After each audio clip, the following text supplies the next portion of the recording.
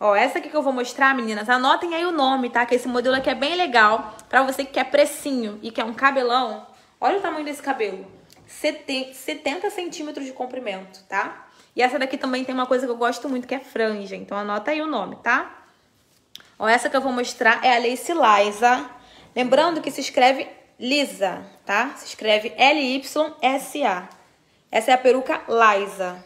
Perdão, que eu acho que eu tinha falado errado. Uhum. Ó, essa daqui é a peruca Liza. Ela é uma peruca tradicional. Tem essa franja que você pode mover pro lado que você quiser. Ó, você vai penteando, tá? Pode passar chapinha porque ela é fibra futura.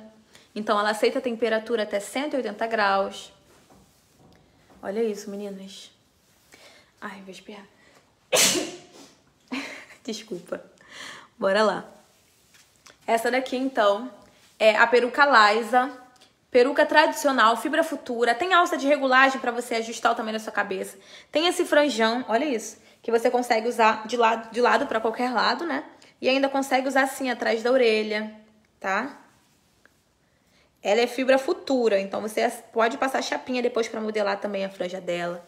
Dá pra jogar também por cima, o cabelo assim por cima. Você vai ajeitando, vai dando o seu toque, tá? Como ela é um cabelão, você consegue também prender o cabelo, dá pra fazer rabo de cavalo, mesmo ela sendo uma peruca tradicional, tá? A peruca Liza já tá disponível lá no site pra vocês, a pronta entrega. Tá? E qual é o valor dela? É.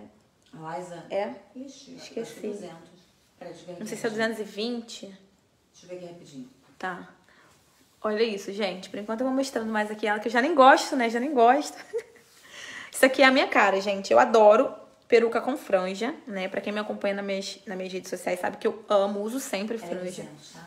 Tá, ó. Essa daqui, então, a Liza, ela custa 200 reais, tá? Peruca tradicional, fibra futura. Aceita a temperatura até 180 graus, tá? Já tá disponível lá no site pra vocês. 200 reais esse cabelão Liza, o nome, tá? Se escreve L-Y-S-A. Se escreve Lisa com Y para você encontrar ela mais fácil lá no site, tá?